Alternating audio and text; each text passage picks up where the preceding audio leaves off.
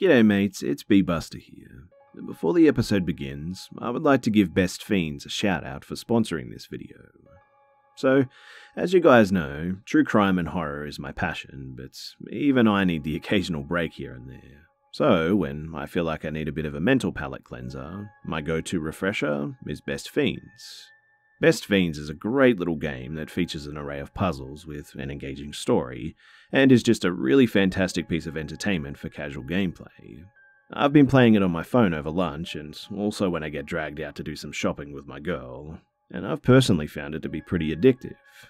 I guess that's the really great thing about Best Fiends, too. It's just a great little casual game that you can pick up, play as much or as little as you like, and put it down and come back to it at your own convenience. In other words, you don't have to invest huge amounts of time in it to really enjoy it. I also love the aesthetic of the game and that you can engage your brain with fun puzzles and collect tons of little cute characters too. It's a 5 star rated mobile puzzle game on the Apple App Store and Google Play as well, and you can download free on the Apple App Store or Google Play today. Oh, and uh, remember too, guys, that that's friends without the R, best fiends.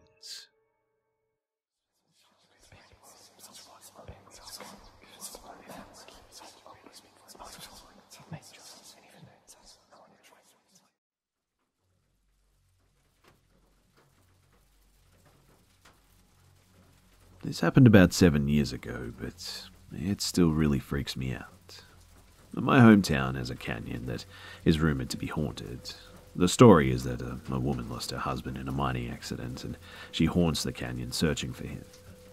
In this same canyon, there exists a building, very much off the main trail, named the Devil's Playhouse because it's said to be the place where devil worshippers go on satanic holidays in order to do their rituals and whatnot. I was a, a wannabe ghost hunter and spent a lot of time in that canyon, specifically drawn to the playhouse. It was an old factory with a lot of mysterious writings on the walls, and holes into rooms that had no entrance. To get to the factory, you had to drive way off the trail on a very beaten up dirt road, and just after the house there was a fence. As daring as I was, I always turned around at the fence so I could get out of there easily if I got scared. From there, you had to climb in and out of the deep ditch to actually get to the playhouse. But here's what happened that caused me to never go there again. I had brought my younger sister and two younger cousins up there one day. We were messing around just taking pictures when my little sister swore that she saw a camera pointed towards us from the rocks outside of the window of the warehouse. I didn't really see it, but uh, my sister was really freaked out. We decided to take a break from the playhouse after this, and we walked about a hundred feet to a bunch of large stone fixtures. Now, I had been up that canyon many, many times, and rarely did I ever see another car, especially at the Devil's Playhouse, but suddenly a truck made its way along the trail. When the driver caught sight of us, he slowed down to probably 5 miles per hour, and the passenger was very noticeably pointing a camera our way.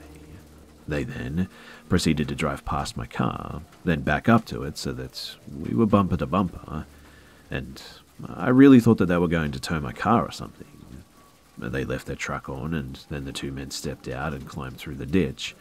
And they walked around the far side of the playhouse from us, and my sister pointed out that it was the side the camera was on. Uh, I was the adult in this situation, so I was coming up with any reason to give these guys as to uh, why we were there just in case we were trespassing or something like that. We had walked back to the house to get to the only safe part of the ditch, and as we approached, the man stepped out. Uh, they were probably mid 30s or so, and when they did, they didn't say a word. They just stood where we had walked, right past them, with no emotion on their faces at all. We made it to my car and drove off, but I had a really sick feeling in my stomach, like they were hiding something up there. And so I decided to park at the base of the entrance of the trail, to the playhouse that is, and just wait for them to come back down. I was stupid, I know, and it was a foolish idea, but I did it anyway. We sat there for a little bit, but after a while, another car pulled up beside us, and the old man who was driving it just stared at us he was uh, seriously creepy looking too, and it scared the shit out of us, so I drove back down to town, and the whole way, that car followed us. He even parked at the gas station that we went to, and uh, we had gone inside, and he sat in the parking lot for a good 20 minutes before he just left. I'm still not entirely sure what happened up there that day or why, but I have a feeling that there's something hidden up there.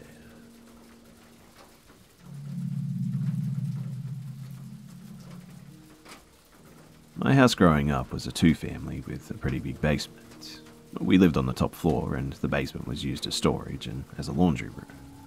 The basement was uh, pretty terrifying. It was always pretty dark. All the lights were in the center of the room, so you had to go into a completely pitch black room, reach your hand up, and pull on a string to turn the light on as well. I don't think I ever went into the basement without a, a weapon of some sort at least. When I was 10, though, my mum left me a note to move the clothes in the wash to the dryer. So I went into the basement, picked up a wiffle ball bat, and proceeded into total darkness. I've literally been preparing to turn that light on and see some kind of monster for years. I pull the string and take a step and look up to see a man. He was breathing heavily and looked disheveled. I completely froze. I'm literally shaking to a point that the wiffle bat is sliding out of my hand. Before I can do or say anything, I hear a gun being cocked, and my father from behind me say, If you take one step forward, son, I'll blow your fucking head off. The man standing before me takes a few steps back, turns, and runs out the door that leads to the backyard. And long story short, I went downstairs. At the exact same time, my dad watched from the kitchen window as two guys were being chased by the police through the backyard on my street. He saw one of the men hop the fence into my backyard and check the door to the basement. He realized after a few seconds that I was in the basement.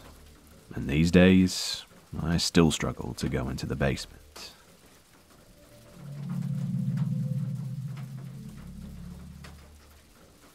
I'd like to think that I have a pretty decent instinct now when it comes to knowing who has bad intentions, but I wasn't always as cautious and as observant as I am now.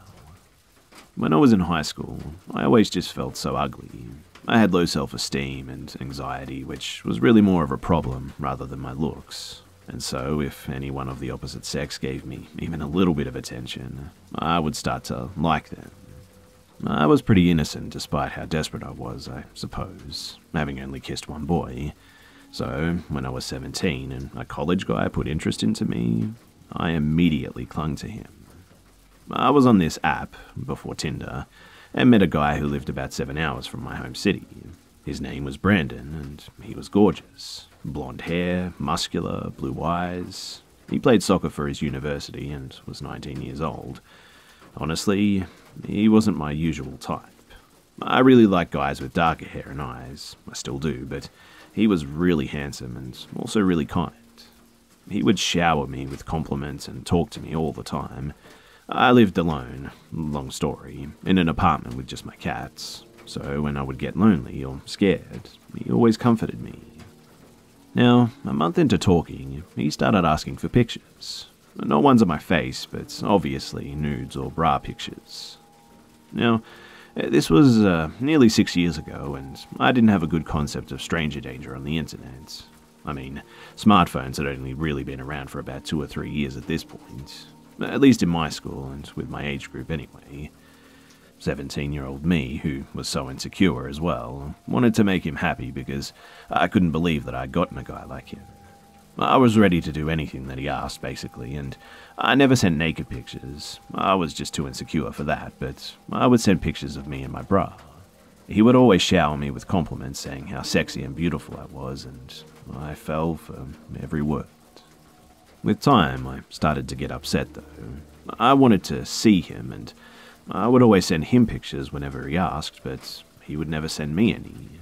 He would show me body pictures of him with his shirt off or things like that, but the pictures were always uh, bad quality. When I started getting too persistent, he promised that he would start calling me. For some reason, this appeased me, and we'd talk many times a week. After a couple of months, he got increasingly more sexual with me, though, telling me what he wanted to do with me and how badly he wanted me. This made me nervous since I'd only ever kissed one boy, but it also made me a little excited. It felt good to be wanted by someone I had really grown to like. Oh, uh, this was all during the first semester as well of my senior year of high school, and I was about to turn 18 the next semester in late January. As it got to Christmas time, he started to talk about coming to my city to see me for my birthday. This had me really excited since I wanted to see him in person so badly.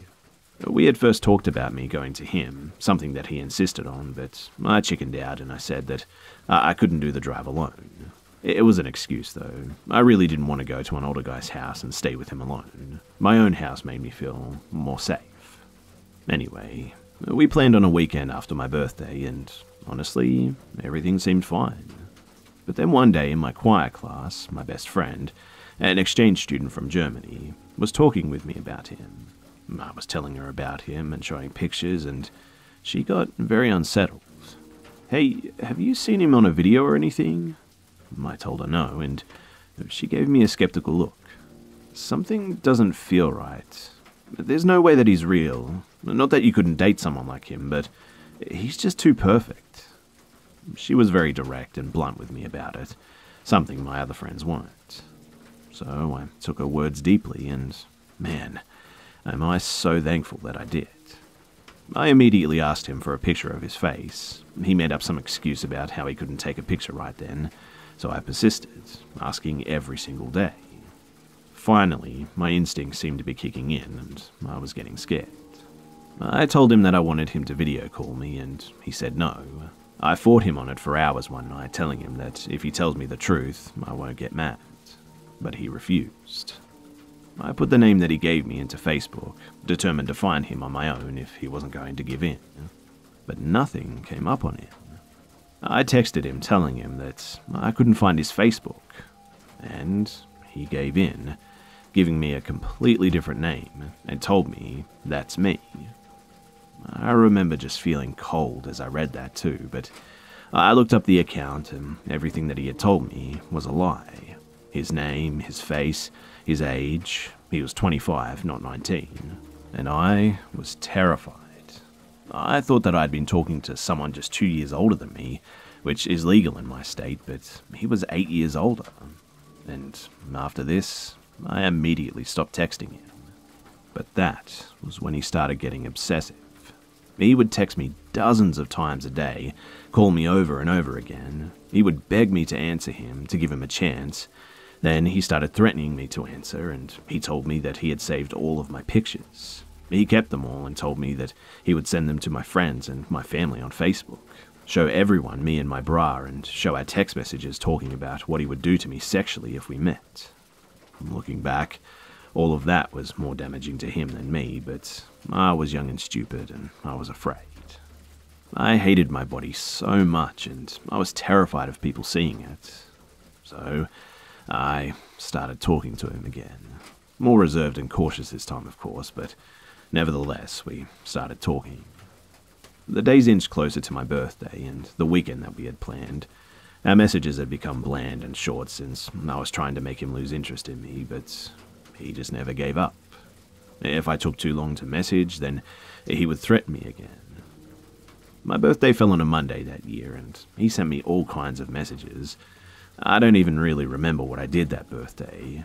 I didn't have many friends, and I've never liked to celebrate anyway, so it was probably pretty small.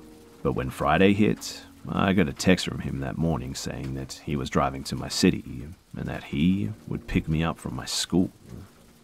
I was honestly terrified. I had lost all of my friends a semester before. Again, another long story. So they obviously had no clue of my situation. Out of desperation, too, I went to one of my guy friends who I hadn't talked to in a couple of months and spilled everything to him. He was a long-time friend, so he was sympathetic and promised to follow me home that day. I went straight to my car, ignoring the mass amount of text saying, Where are you? and I'm here. My friend drove behind me all the way to my apartment, which he had no clue that I was living in, and stayed with me as I just cried for a while. I turned my phone off after this, and my friend left after in the night. Brandon had no clue where I lived, but I was definitely still paranoid. I mean, what if he somehow found me? Only three people knew where I lived four now with my guy friend, and he didn't come in contact with any of them. When I did finally turn my phone on, he was threatening me again. I was just so exhausted and fed up at this stage that I started spam texting him, yelling and venting. I told him how stressed he had made me and how what he was doing was wrong. I told him that he could send the pictures and that I just didn't care anymore. I started to attack his character, telling him how no one could love him if he hides who he is and then treats people like shit when they catch him in a lie like this. And thankfully for me, he had enough care for me to take my words to heart. He apologized and told me that he deleted all the pictures. He swore to leave me alone as long as we can still talk every once in a while as friends. I agreed, even though I knew I was lying. I talked to him for about a month, short responses until he just finally gave up. But even now at 22, I still see his name appear sometimes. I blocked his number and deleted him on everything, but his name still shows up sometimes on my Instagram or Snapchat when he's trying to re add me. He's the reason I don't give my name or picture out, and he isn't the first stalker I experienced. The first one was actually in the sixth grade, but that's a story for another time. Anyway, let this be a lesson to anyone out there who's listening. Please be careful with who you share your information with, because just like me, it can come right back around to bite you in the ass.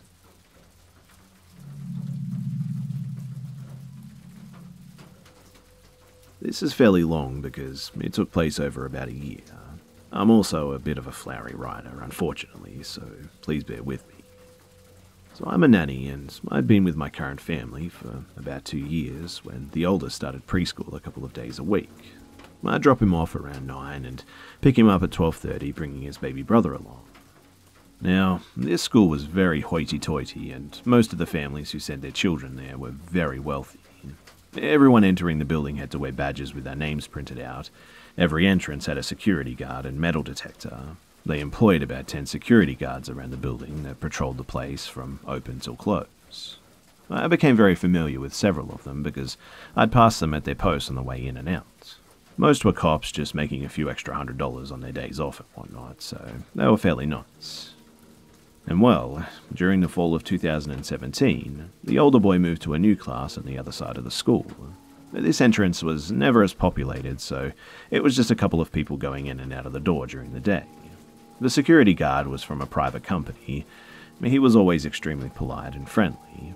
Definitely one of the nicest security guards, without a doubt. He was probably in his late 20s, I'd say. I thought that he looked like a, a young Santa Claus, if I'm being honest. Round, jolly face with a permanently red nose and cheeks framed by a thick brown beard, thin framed glasses, and curly brown hair that went to about his shoulders. I eventually learned that his name was Nick as well, which only solidified my comparison. Months passed, though, and we'd seen each other two or three days a week. The boys loved to wave to him, and he'd always ask how our day was, and we'd respond. In January of 2018, I actually came down with the flu, and I missed about two weeks of work. When I returned, I continued our regular schedule of school drop offs and pickups. I was walking past Nick, too, and I waved, and he stopped me and said that he noticed that I was gone for two weeks and he hoped that I was feeling better. I smiled, thanked him, and said that it was the sickest I'd been, but I was glad to be back. I found it a bit odd, though, that he had noticed and that he knew that I was sick. I assumed that my employers had told him when they did drop offs or pickups while I was gone or something, so I didn't think too much of it, and I just continued on. But when I went to leave, he stopped me again and told me that he didn't know that I wasn't the boy's mother. I laughed at that and basically said people confuse me for their mum because I'm with them all the time and we kind of look a little bit similar. He laughed too and then said, I was wondering, uh, I never saw you with your husband and you don't have a ring on your finger, so I thought that you were just a single mum. I laughed nervously to this and didn't know what to say back, so I said, Nope, just the nanny. I wanted to kick myself when I got back in the car. I was caught off guard, and I'm generally a bit awkward, so tend to not respond the best when put on the spot like that. I guess I just didn't realize that he'd paid that much attention to me. I'll admit that I was a little bit uneasy, but I found it harmless for the most part.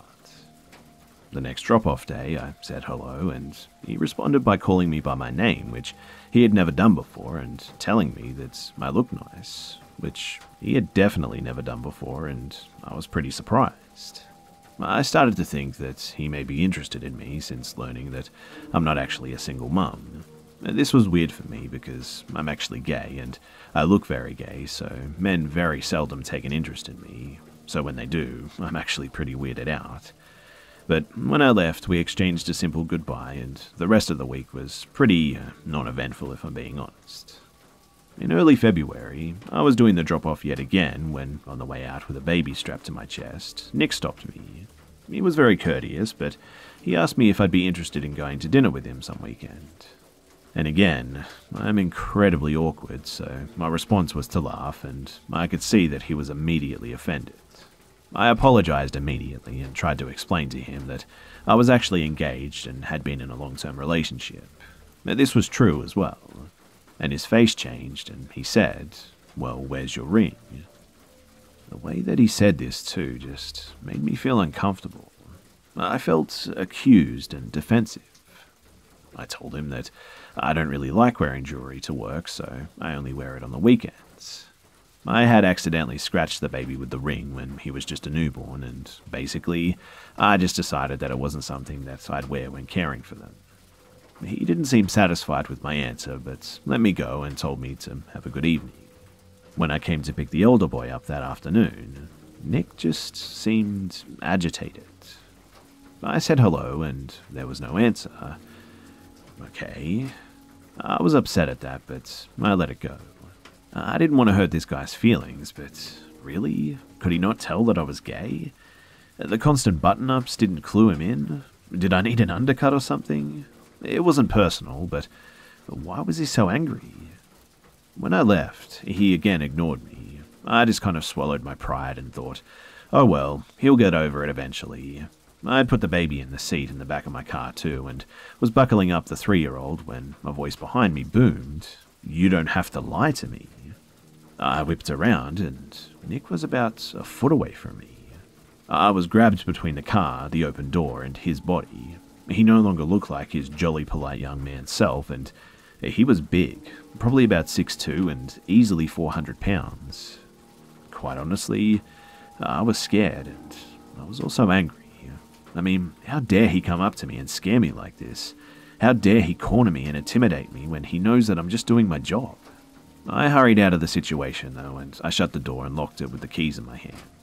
I tried to back up, but he said, You didn't need to lie to me. If you aren't interested in me, just tell me.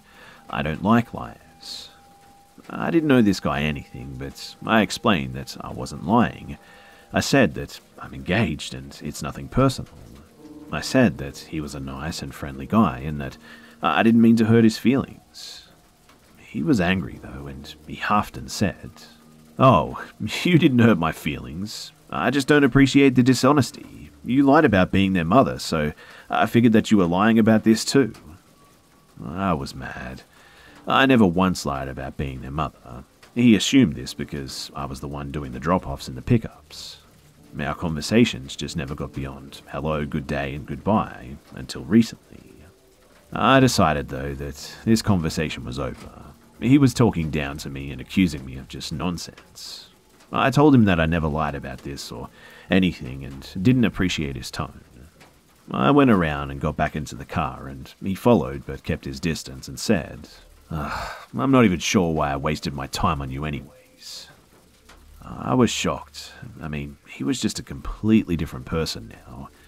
I avoid altercations at all costs, so for someone to speak to me like this was pretty upsetting, I'll admit. I ended up disclosing this situation to my employers, who got very upset as well. They did not like that he spoke to me like that, and especially didn't like this done around their children. They ended up contacting the school, which I was mortified about.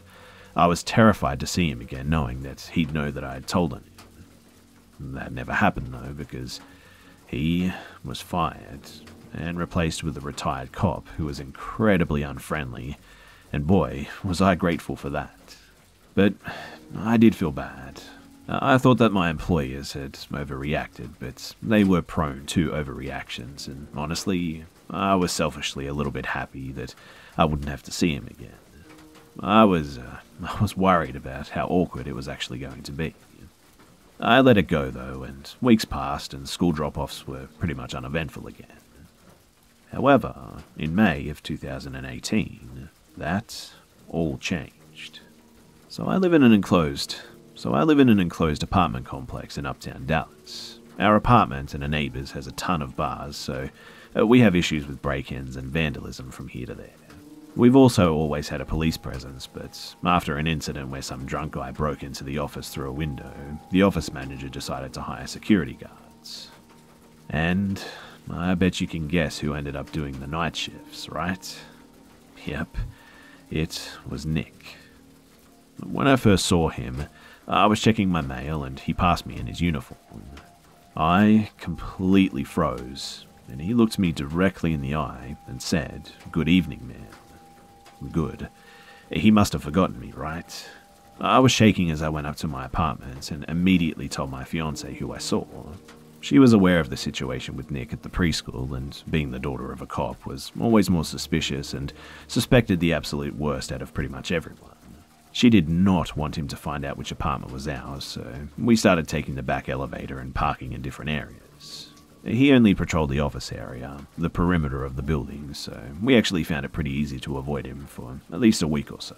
He only patrolled the office area, though, and the perimeter of the building, so we found it fairly easy to avoid him for at least a week or so. Now, one day, the back elevator was out of order, so I had to take the front elevator from the parking garage up to my apartment on the fourth floor. The elevator stopped in the lobby, and guess who walks on? It was Nick, and I completely froze. I guess that he could sense that I was anxious too, because he looked at me and said, Don't worry, I'm not mad. You got me fired, but just don't do it again. I didn't even respond, and I got off on the fourth floor and then thought, oh crap, now he knows which floor I lived on. I immediately ran inside and told my fiancée, and she said that she would contact the management. I convinced her that this was a very bad idea. It could make him angry, and I doubt that he would let it go again. I mean, he technically hasn't done anything, but did he follow me here? He knew me, but how did he end up here? It seemed like too much of a coincidence, I'll admit. I will say, though, that we did live in a bit of a panic. We kept our door bolted and we even installed a camera. I'm not sure how many of you are aware of the story of Jennifer Morey. She was a young lawyer who was living alone in an apartment similar to mine in Houston. She was stalked and attacked by her apartment's security guard, and he actually had access to her apartment. She survived, but went through a horrible ordeal, and we were both terrified that this could happen to us. It got to the point where pretty much every noise unsettled us. We'd get up to make sure the door was bolted several times before we would go to bed. And that summer, we were convinced that he'd try to do something. And maybe it was just our overreactive, worried minds, but better safe than sorry. But we ended up avoiding him for the most part, and we saw him occasionally, but he didn't seem interested, and although we were always wary, we figured that he must have gotten over it, and we let our guards down. And he never did bother me again. He never said much of anything to me when I did see him, and Uh, I decided that maybe he was just having a really hard time last fall, and he was a really nice guy who maybe didn't have the best social skills or something. Now, fall 2018 rolls around, and I'm busy with work, and my fiance is out of town, often on business meetings. And one weekend, I'm home alone, and it's 3:30 p.m., and I'm walking down to the office to get a package.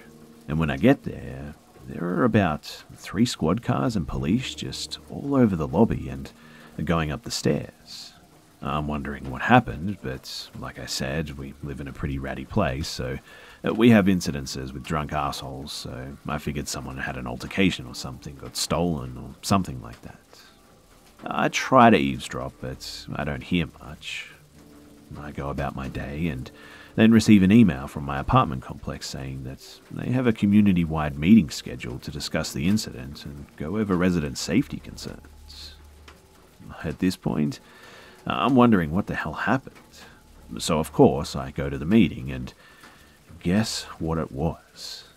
A young, single girl living in an apartment by herself showed up mid afternoon to find Nick inside her apartment. She came in and her drawers were in just complete disarray. He was hiding in a closet and came up with some excuse.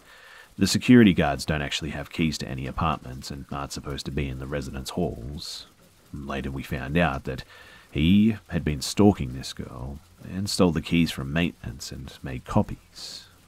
This had also been going on for at least a month, if not longer. They also found several of her belongings in his vehicle, and he was obviously fired and charged. I didn't follow exactly what happened to him, but we assumed that he did some time. It was obviously a very scary situation, and of course, our apartment complex got the pants suit out of them. I was glad that his attention shifted, but wonder what could have happened to this girl. But unfortunately, this wasn't the last time that I saw or heard of him.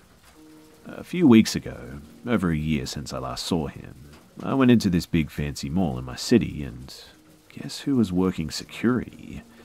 Nick. My first thought was, you've got to be kidding me. My second thought, though, was, how on earth does this guy keep getting security jobs? Who the hell is dropping the ball here? I saw him and I just turned around and I walked straight out of that door. Thankfully, I'm actually moving out of state next month, but man, do I hope that I never see Nick again.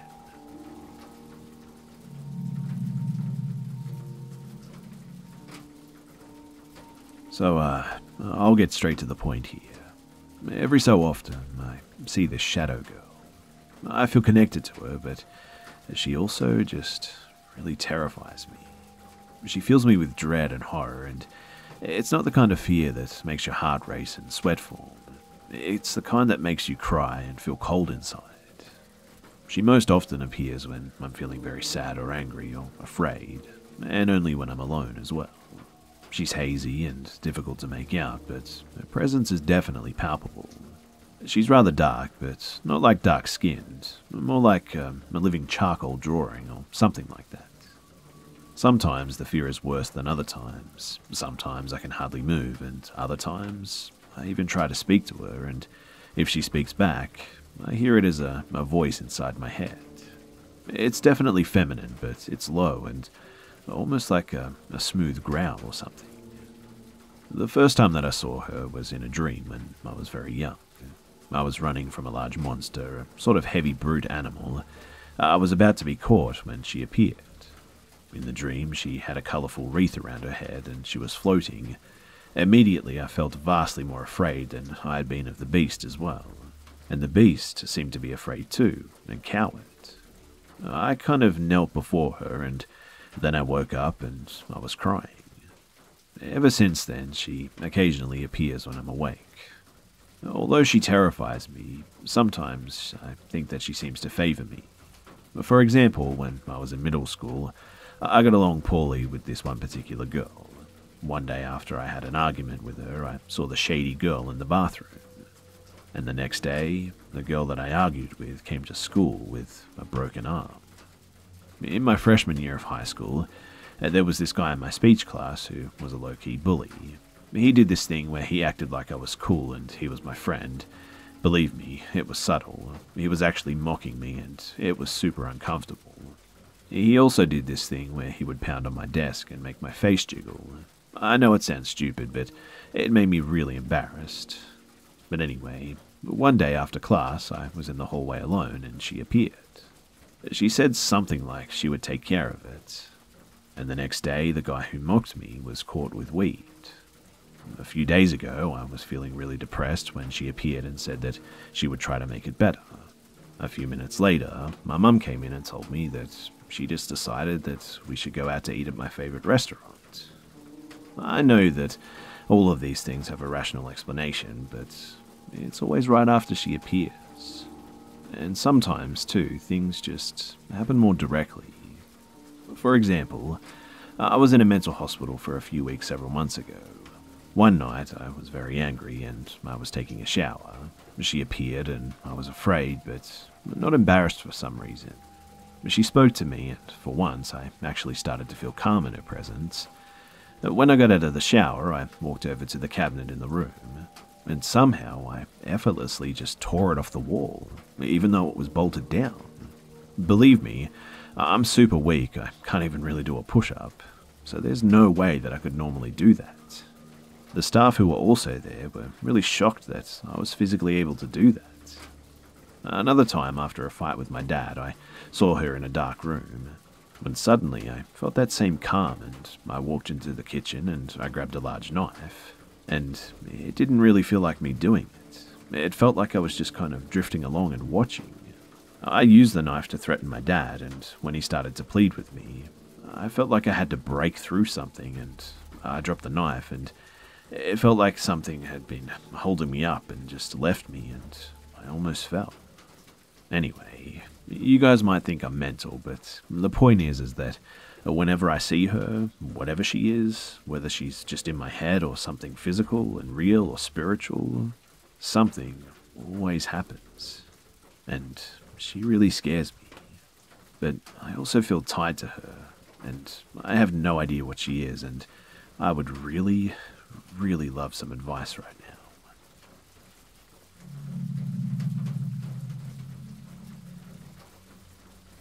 I was around 12 years old when this all happened. At the time, I lived in the house that I was at for three years and nothing unusual had ever happened. But one summer at 9:30 p.m., every night on the dot too, I heard knocking on my bedroom window. When it first happened, I just assumed perhaps an animal had hit my window or something. Uh, there were no trees anywhere close to my window, so there was no possibility of a tree branch hitting my window or something like that. It soon became hard to keep ignoring it, though, and brushing it off as just an animal. I mean, uh, why would an animal hit my window every night at 9.30 on the dot? Also, it was just too distinctly a knocking sound to brush it off as anything but something human. I decided to tell my parents about it whenever it happened, but I suffered from childhood anxiety, so my parents were used to me making a big deal out of sounds, and my dad never found anything outside when he would check. He told me that our backyard, where my window looked out to, was fenced in and no one would be able to climb over the fence, knock, and then leave without anyone noticing. It also didn't help that we lived in a rather large, lit up neighbourhood, so someone would have to see a man coming at every night, 9.30, climbing over a fence and then leaving. So, I listened to my dad's reasoning and I tried to ignore it again. But it never stopped. At one stage, I honestly began to wonder if I was going crazy. No one else but me had ever heard the knocking, and there was just no logical explanation, other than an animal of some sort. I began to think that maybe the knocking was just all in my head. Well, one night I had a friend over. 9.30 hit, and sure enough, there was a knocking at my window. And my friend froze and asked me if I heard that. I told her yes, and that it's been happening every night at the same time for weeks now. I said my dad said that it was an animal. And my friend told me that it sounded too much like a knocking to be an animal, though. I agreed, and we told my dad. He checked for us, and sure enough, like every other night, nothing was in our backyard. The knocking continued after my friend had heard it, and one night I had gone to bed at 9, but the knocking was so loud at 9:30 that it actually woke me up. I was freaked out and I ran to my dad in the living room. In order to get to the living room from my bedroom too, you had to pass through the hall which had a clear window door showing our porch in the backyard. And when I passed this door, I looked outside the backyard, and that was when I saw him. I saw a a bright man dressed in a white robe with long blonde hair running through my backyard. But when he reached the middle of my backyard, he just disappeared. This scared me even more, and I went to my dad sobbing that I saw a man and he was knocking on my window. My dad checked outside again, and there was just nothing there. He tried to comfort me and said that it was probably some light reflection that I had seen, he calmed me down and told me that if I saw a man again to go and get him, and then I just went back to bed. The strange thing is, though, is that after that encounter, the knocking just stopped completely. I'm 20 now and I still live in that house, and I haven't seen or heard anything since that night when I saw the knocking man.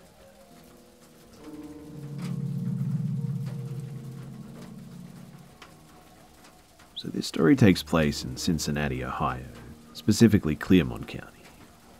So, I'm a female, I'm 31 years young now, and this happened in 2006. So, at the time, I was 17 going on 18. My boyfriend, we'll call him M, and my friend we'll call A, and her boyfriend, now husband, we'll call N, are the ones involved in this unexplained event. For some background first, there's this abandoned cabin in the middle of the woods, and you can only get to it by walking about a mile one way. There are some abandoned cars and an ambulance, some tractors, and other random vehicles like a short school bus, and they're all covered in gunshots. There's not even a path to drive a vehicle back there, so we would be walking a mile one way to get there, so we're not sure how they could have even got there or how long they would have been there, but my boyfriend and I had gone with two other friends previous to our encounter, and it was creepy, but not compared to what happened when we went with A and N. So on our previous trip, we went with our friends T and J. T and myself went upstairs and had a Ouija board. We just asked some random stupid questions that I can't even remember now, but what I do remember is that it spelled out Huey. We said goodbye on the board and we were just looking around the upstairs, which was really just an attic. But we found massive kid socks in the wall, and it was really random and kind of weird. We got pretty startled too when an alarm clock just started ticking. It wouldn't stop as well, so I smashed it to pieces, and that was that. We walked back downstairs where the boys were, and we made our way back outside. We also found a creepy well that was covered up, and then all of a sudden we heard that alarm clock just start ticking again, but I knew that I had broken it, so that kind of spooked us, but it was nothing too major. We saw an outdoor cellar that we went into, and uh, there was a girl's child boot with a bone inside the shoe, so I was like, okay, uh, we're done for today. Let's get out of here. And my boyfriend and myself were telling A&N about this cabin and what happened when T and J came with us that time. And so we decided that we were going to go later that day again. The day the encounter happened, M, N, and A and myself went to the lake, packed a cooler with food and crap, and spent probably five hours or so at the lake and ate and just kind of hung out. We left the lake and stopped at A and N's house, dropped the cooler off, which was in the trunk of the car. This is important for later as well in the story.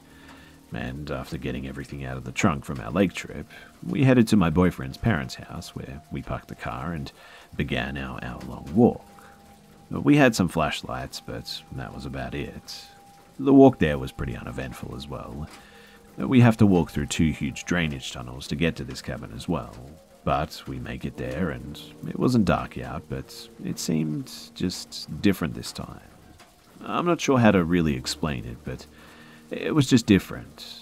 But we had come later in the day than previously, so I just kind of put it down to that and was like, okay, whatever. Just like last time when we got inside, A and myself were going to go upstairs. I wanted to show her the socks in the wall, and I also wanted to check out that clock that I broke last visit that I heard ticking outside previously again. But as we start to go up the stairs, there was a big crash, like someone was thrown or knocked over. A gets freaked out, and then out of nowhere, she just books it outside back down the creek, yelling at M and N and myself to come on. I go chasing after her, and She's in tears, having a full blown panic attack, saying something. Finally, I get what she saw. She said that she saw someone looking at the window at us. We tell the guys, and literally, nobody is around. Only the four of us. Since she's so distraught, though, we decide to just go ahead and we leave.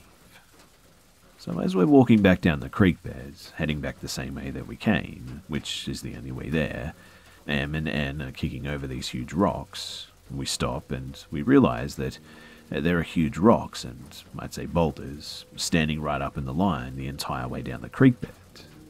And they just couldn't have been there. I mean, they were not there even just 20 minutes prior because uh, we would have noticed them because they were huge. So this definitely started to freak us out a bit. This wasn't normal and this was pretty unnatural, so we picked up the pace and we started to haul ass out of there. Well, we make it to the first drainage tunnel and we turn on our flashlights, and literally none of them will turn on.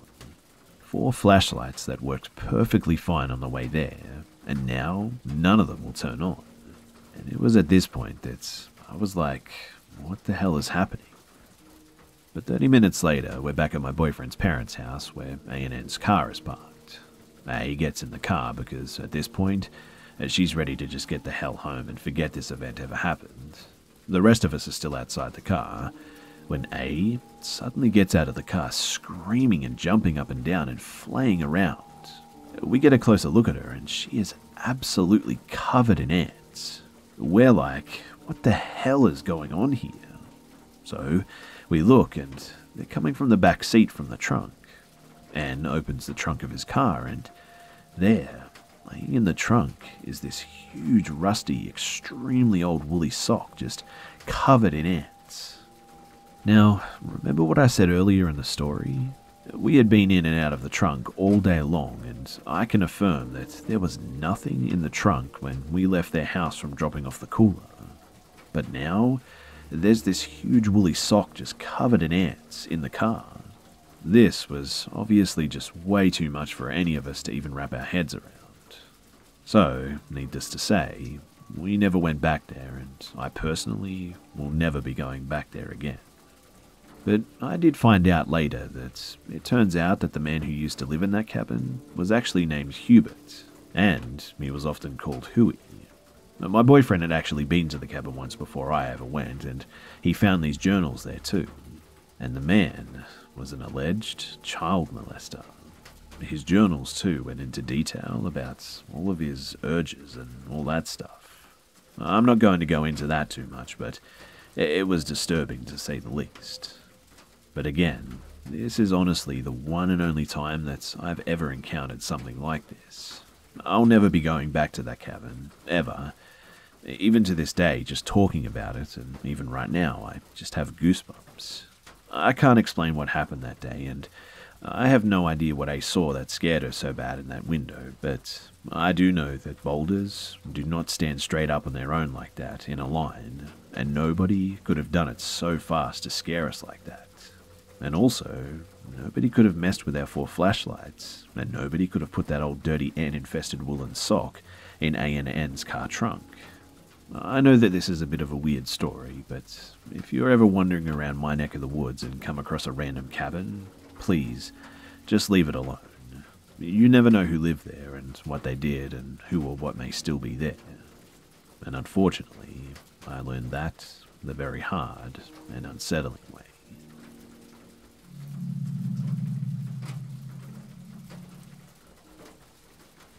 Nearly 10 years ago, I dated a girl for several months. There had been a, a, few red flags right from the start that I should have listened to, but I was naive and kept telling myself that she was a decent person with a terrible streak of bad luck. Our second date was the first time I went to her apartment. We were having a few drinks and watching movies on a computer, and we ended up having, well, you know, right there on the couch. We started dating officially, and it doesn't take long for her to start exhibiting some of the classic clingy girlfriend traits. I'm a little put off by it, I'll admit, but just tell myself that I'm overreacting and not to break it off just because she's a little clingy and insecure. A few months later, I was hanging out at her apartment and found a shoebox in her pajama drawer full of things from her last relationship, which was with a guy. I should mention here too that I'm a lesbian. There were letters, nude photos of them together, all kinds of stuff. I thought that it was really strange, beyond the obvious reasons, because everything that she had told me about this relationship sounded really awful. She said that he'd hit her, throw her around, say nasty things to her, that he turned her off from men, and just general really crappy relationship stuff. When I asked her why she had this box, though, she shrugged it off and didn't really give me an answer. Now, I'm not a jealous person, so I figured that it was just some sort of healing process stuff. Again, though, I was naive, but I pretty much ignored it. But here is where it starts to get real fun. So fast forward a few months, and one night we're talking, and she tells me this story about a man that her mum dated when she was six or seven years old that she didn't like. The man had a son that was about ten years old that lived with him. She wanted her mum's boyfriend gone, so she told her mum that he had molested her one night while he was looking after her and his son. He didn't, mind you, and had him arrested. The son told the police that nothing had happened and that he'd been with her the whole night, but the man actually went to prison anyway and was beaten to death by a biker gang. She ended this story with a laugh and said, I wonder where they buried him. Then just continued on with her days if she hadn't just dropped this giant what the F story on me. To be honest with you, to this day, I still don't know if it actually happened, or if she just made it up to show me how evil she could be. Either one is insane, but I decided right there, though, that I needed to break it off with her without unleashing the I'll come to your house and kill you in your sleep type of psycho that I knew was in her somewhere. It takes a few weeks, but I managed to break up with her. She still messaged me constantly, but I was getting better at not being sucked into her guilt trips. Then she started sending me webcam photos of us that I'd never seen before. I didn't connect what they were until she started sending me videos. Remember that second date at her apartment? Well, she started recording the whole thing on her webcam, and I had no idea. My stomach still knots and my blood boils when I think about this. About two weeks after the breakup, I got an ominous goodbye type message from her, also saying that she wanted to see me one last time. I lived on the opposite side of the city and really didn't feel like taking a two hour bus commute to go deal with more of her melodramatic bullshit, so I contacted two of her friends that live close by, one of which was actually six months pregnant, and asked if they could go and check on her. And my day goes on until I got a phone call from the police. They filled me in on what happened. When the friends went to her apartment, she answered the door, wielding a large knife, and went ballistic when she realized that I wasn't there. The friends ran and called the police, and when the officers arrived, they put her in handcuffs and brought her to a psych ward. And after looking through the apartment, the cops found her bedroom covered with lit candles and photos of me, or us, spread out just all over the bed. And in the living room, they found a suicide note that was several pages long. In it, she had talked about my death and how it couldn't be helped. I was in shock, so the cop had to spell it out for me, but she had every intention of killing me, and then killing herself. He said that you did the right thing by not coming over here. She continued stalking me online after this, and when I blocked her on all social media platforms, she started sending me threatening texts. I answered long enough to tell her that if she didn't leave me alone, that I'd be filing a restraining order. This kept her away for a few days, until she showed up at the venue that I was working at and tried to attack me. Big thanks to the quick reflexes of the security guard on site for keeping me safe that night, too. The next day, she acts like nothing happened. I eventually filed for a restraining order and wasted six months of my time dealing with courts, only to have the judge dismiss the case as lady spat. The stalking eventually stopped, but I was always on high alert. Even today, the sight of magenta fire hydrant red hair dye just makes my skin crawl.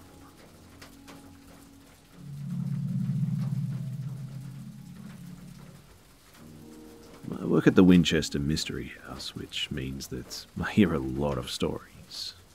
I'm really not the type of person to delve much into the paranormal, but I've definitely seen a few things myself that aren't easy to explain.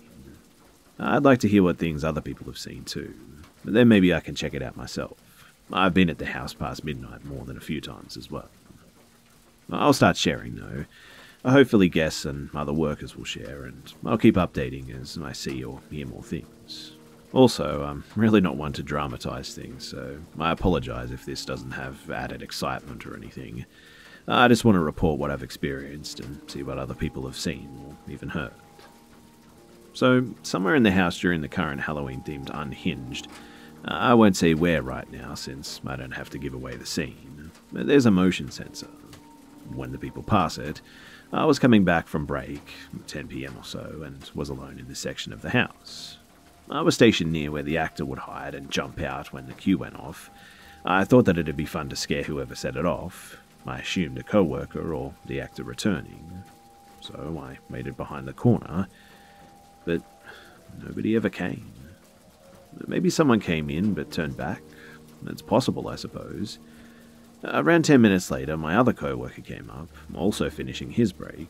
Our section all takes breaks at around the same time, and we were just talking. And the cue went off again, but nobody was there. Now, it's not a sensitive cue or anything, because whenever I work, it only goes off if someone goes through.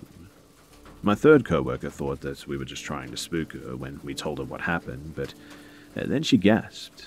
She didn't want to tell us at first, not wanting to seem like our story scared her, I guess, but later she said that she felt a tug going up the stairs when we were walking.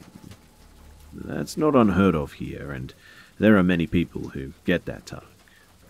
Another thing that happened was I saw laundry mangled in the laundry room spin on its own, and another time I was going up to the switchback stairs, low ceiling and narrow, and turns about seven times.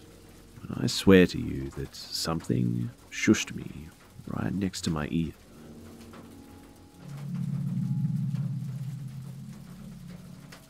When I was a student teacher, I was 21 and working with mostly seniors in high school many of which were 17 and 18 years old. One day, the mentor teacher that I was working with pulled me aside from teaching my class to inform me that other teachers had overheard some students telling each other that they wanted to do something with me. While disturbing, many of my friends and colleagues insisted that that's a fact of being a young teacher working with high schoolers. The next day, I had a few girls in my class, though, approach me and inform me that Three specific boys were no longer just talking about what they wanted to do, but were graphically describing what they were now planning on doing to me in the coming weeks after school in the parking lot. Far more details, too, than I'd like to share here. I went to the administration immediately, and they handled it very quickly and professionally. I was very grateful for their support. I was never touched nor harmed by any of these students, thankfully. But what did scare the absolute crap out of me, however, is that not even a week later, one of those boys was actually arrested and pulled out of school. I didn't find out immediately, but I eventually learned that he was being held for the alleged sexual assault of his younger sister. It makes me sick just thinking about it still, but I honestly think that I just dodged a bullet. G'day mates, it's Be. Busta here. I hope you guys enjoyed the video, and if you would like to help me out, then please go ahead and watch another video by clicking on a card on the screen. As always guys, thanks for all the love and support, and I'll see you mates in the next one.